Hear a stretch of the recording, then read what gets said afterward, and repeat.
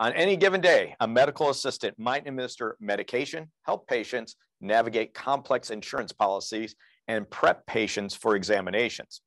Let's go inside one of the best healthcare systems in our state, Cox Health, to just see what a clinical administrator and medical assistant do in a hospital or your doctor's office.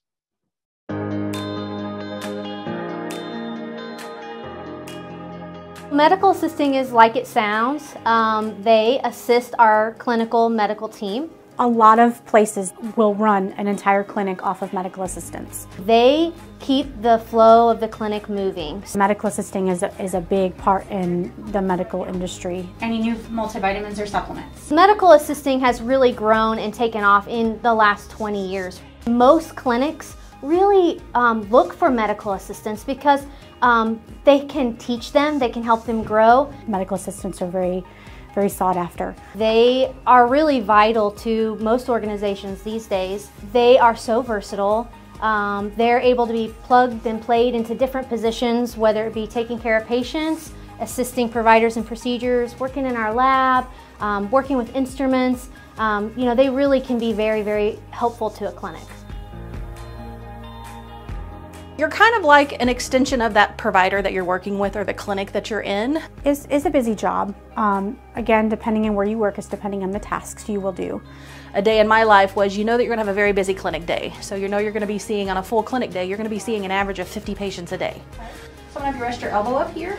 So with that being said, being in the moment, being involved, thinking forward, prepping the day, knowing, okay, well today's a full clinic day, so I'm gonna have about 50 patients. So making sure my charts are worked up, making sure I have the rooms fully stocked, making sure that I have everything I need for the provider. If he wants to do a procedure, if he wants to do a cast, if he wants to do everything that he has to do, making sure I know where all that stuff is located and just be ready to use it at any given time. So in between rooming patients, um, I may be asked to go help out in the lab. So someone has to leave to run down to main lab to grab something or go help somebody else um, in between also rooming patients, you know, answering phones, chaperoning with other providers, keeping rooms clean, just making sure that everything runs smoothly. Medical assisting kind of gets your foot in the door, lets you see what things you'll have to do. And I think within Cox Health, they offer a wide variety of opportunities um, to advancement. Like I said, I started as a medical assistant in the clinic, and now I'm a clinic administrator. Um, just from being able to get in my foot in the clinic and be able to learn those things. And so I think um, if you are interested in healthcare at all and you don't really know what you want to do, you just have this sense that you want to help people, medical assisting is a great place to start. I've been a medical assistant for 10 years now. And I've chose to stay as a medical assistant because for me, I've it's been my niche and it's been my calling and I've loved it ever since. Cox Health offers an amazing program called the Medical Assistant Apprenticeship Program. Um, I'm so thankful for that program. I've actually encouraged three staff members who have gone through the program to do it. Once you're accepted, it is a 12-week program that they train you in all aspects of medical assisting. It's a really cool experience because you know, they are being paid to go to school. So they're going to school, they're learning things, they're broadening their horizons, and then they're being paid to do so. And I think the best part of the program is people are really hands-on patient care within that first week or two.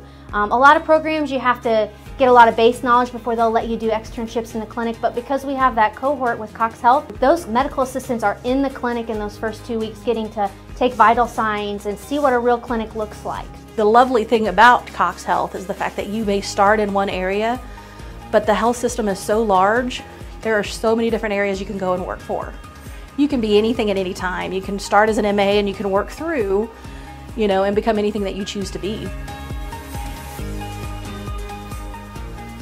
What I look for really is those soft skills. So um, for us, we talk a lot about it's uh, about being professional, respectful, and kind. And so I can teach you the skills of the job, but the characteristics and who you are in your core is what is really important and what I look for. So customer service, uh, communication skills, um, you know, genuine love for the job and healthcare, um, and you know, being able to multitask, um, being able to um, keep your cool under pressure because there's a lot of things going on all at once.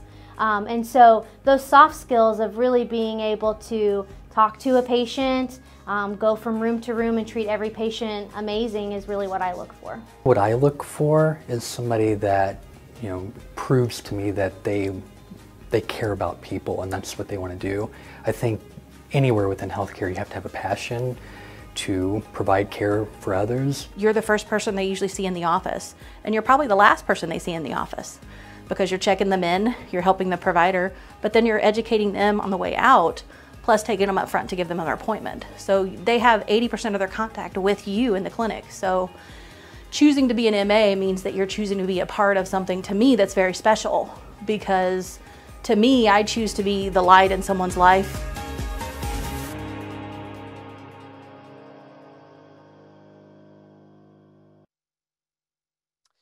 Joining us today live from Cox Health is Stephanie Boyd, Clinical Administrator, Emily Lynch, Medical Assistant 3. Hey, Stephanie, Emily, great to have you here at Healthcare Career Day.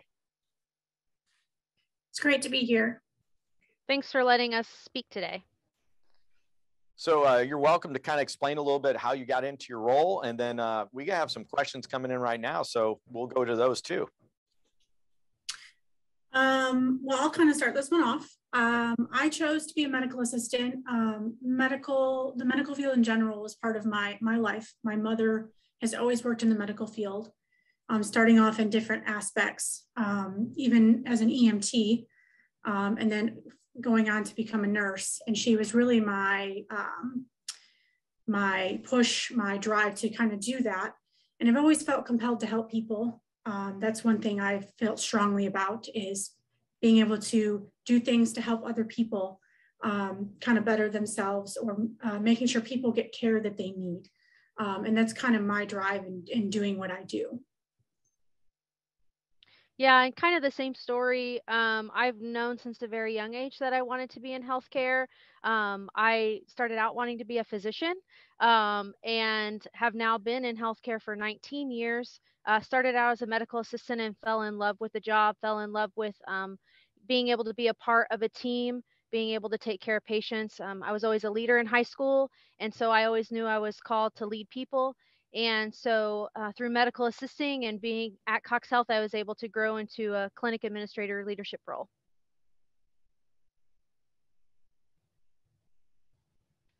So did you, um, you mentioned you, you've been in healthcare for quite some time. Did you get involved with like some of your student um, associations like HOSA or anything else of that like when you were in high school?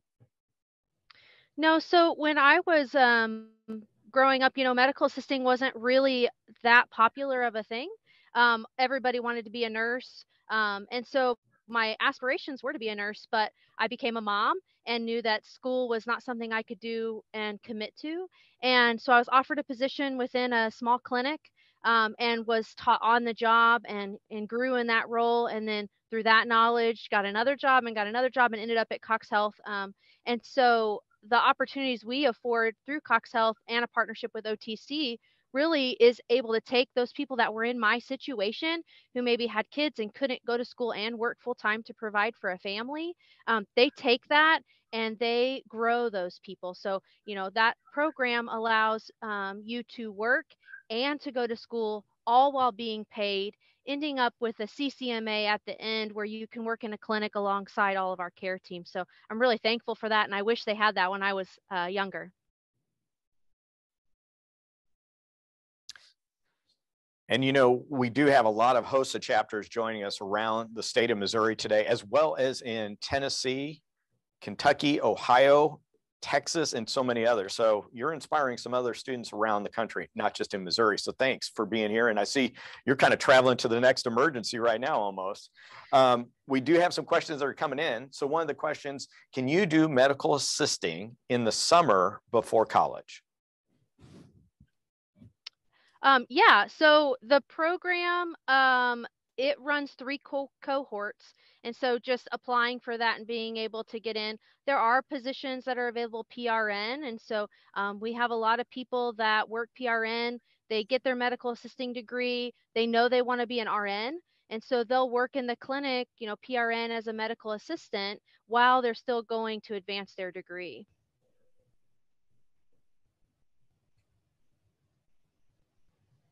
And then um, we have a follow up question. Uh, is your position more of a team job or a solo job? Um, being a medical assistant, you generally work as a team. Um, without my other, uh, I call them friends because ultimately they are friends, but my other coworkers, without them, I would not be able to completely do my job. Um, so you do work as a team, you work with everybody to make sure that the patients get the best experience.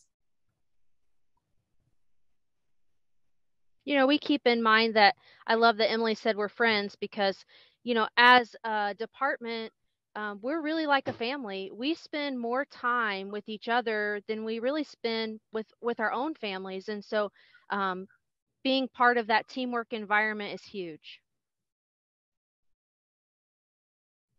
Yeah, I, I whenever I go into a, doctor's office or uh, a hospital um, for any any reason whatsoever, that's the first thing that I get is it's a team effort. It's not a solo um, type job that you're out there doing on your own, regardless of what that job may be. So, um, great to great to hear.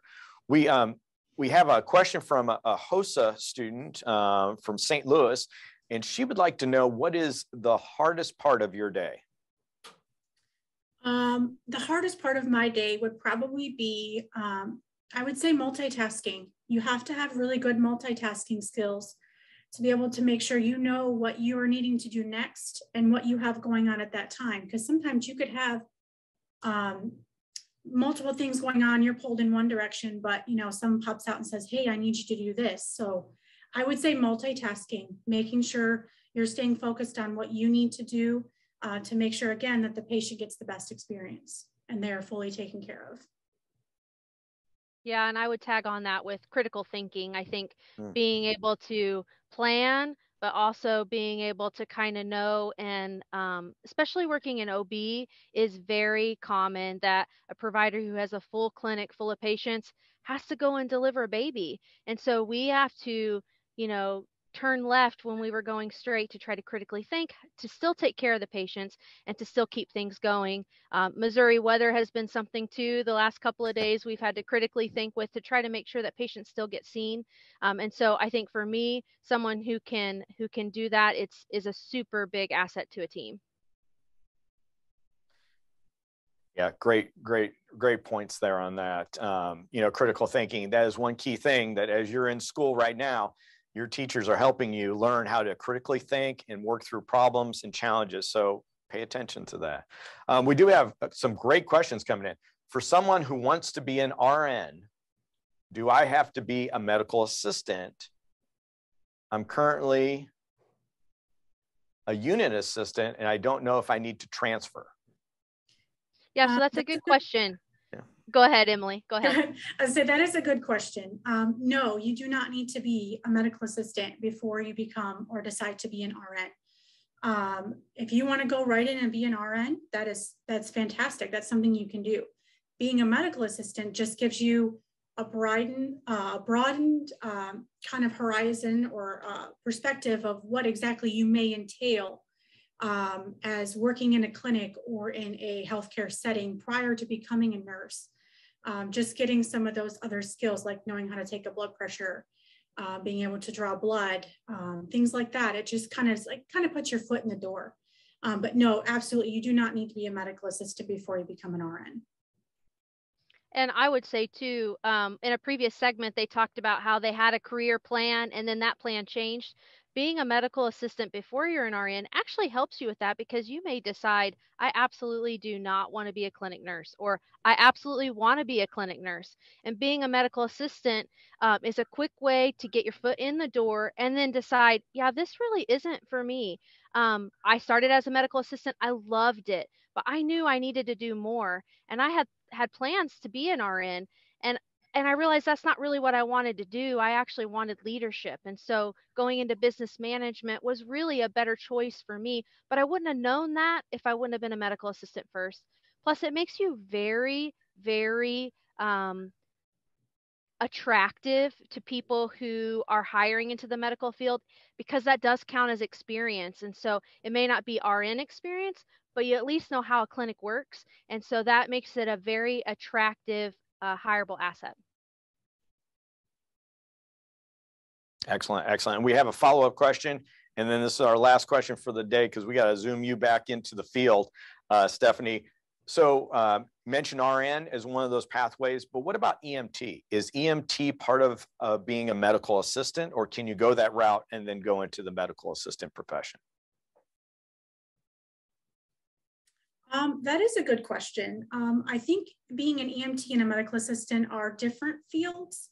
I mean, you do have some of the, um, you do have uh, some of the similar skills, but an EMT is more of a fast-paced um, a program, I believe. Uh, being a, uh, an EMT, you have to think more on your feet because um, you can have emergency situations that you have to um, attend to, and those are things that you know, a medical assistant might have something similar in a clinic. You know, someone might might have to do a nurse stat or something like that. But um, I think an EMT is it would be a separate field in itself. Um, whereas being a medical assistant, I mean, you make you could start off as a medical assistant and then become an EMT. Hmm. Um, but I don't know. I think you would might need more requirements as an EMT. Yeah, and I think a lot of, especially technical schools, not to plug OTC, but OTC does have uh, uh, their own medical assistant program and an EMT program. And so I think that they're really lateral moves. But honestly, we all deal with kind of the same thing. It's just a little bit different as far as fast pace and emergency medicine and different things. So, um, you know, it's a lot more uh, gory than what we see in the clinics. Sometimes that's attractive. I know it wouldn't be attractive for me. You know, the less gore, the better. well, we're going to let you guys get back into the field and, and do the work that you need to do to keep people healthy and, and safe. So uh, thank you, Stephanie and Emily, for joining us today live for Healthcare Career Day. You bet. Thanks for having us.